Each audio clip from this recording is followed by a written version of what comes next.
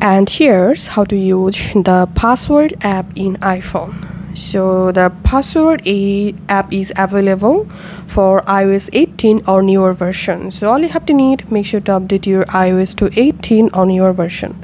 Then here you'll find the passwords app. Or you can go to your app library and in your app library search for passwords and open the passwords app. And now you have to verify your face id or your passcode to unlock the password app once you successfully unlocked, tap on all and here you will find all of your saved passwords.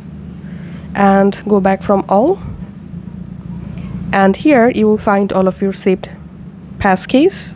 Here you will find all of your two-factor authentication saved codes. Here you will find all of your saved Wi-Fi passwords. And here you will find all of your security.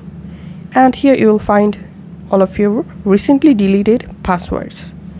And now to save a new passwords in this password app tap on this plus icon. And here in this website app or level I'm typing here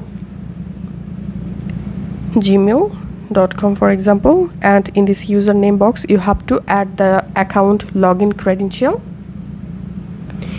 and give here your password.